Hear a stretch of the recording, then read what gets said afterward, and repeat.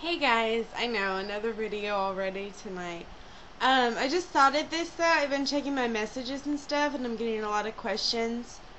Um, like how tall I am and what size I am and stuff like that. So I just thought I'd go ahead and answer this. I am five foot eight.